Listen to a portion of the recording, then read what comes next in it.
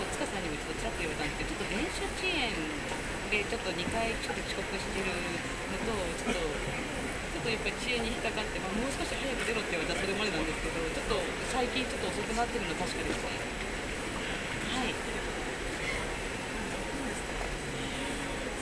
今日一日一回ともう一回は多分一ヶ月ぐらい前になると思います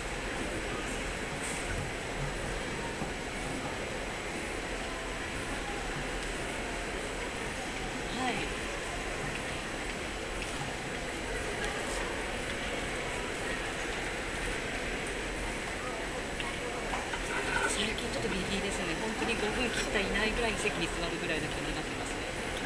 はい。ちょっと気をつけます。はいはい。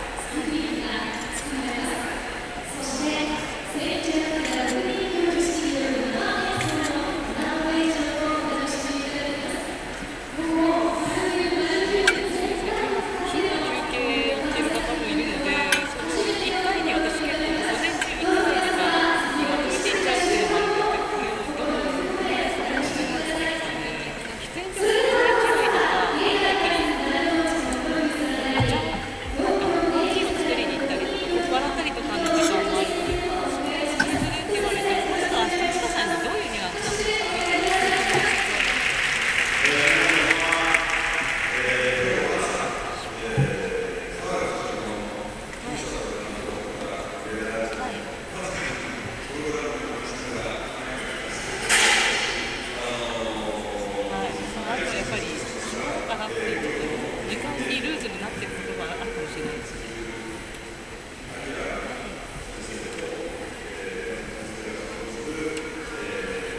はい。はい。